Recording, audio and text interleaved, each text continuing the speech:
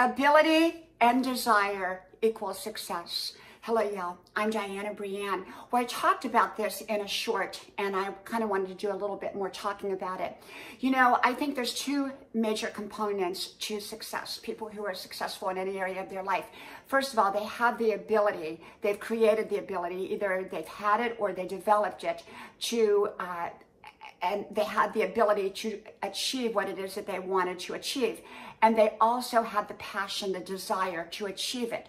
Having the ability does not necessarily mean that a person's going to be successful in an area. If they don't have the drive, if they don't have the passion, if they don't have the desire um, to get out there and make it happen, it's likely not going to happen. So it's very important to have the um, desire behind the ability. Now, I believe that if you had to choose between one or the other, um, you know, to create success, sometimes desire may be the best one to have because even if you don't have the ability, you may have the desire to learn and develop that ability.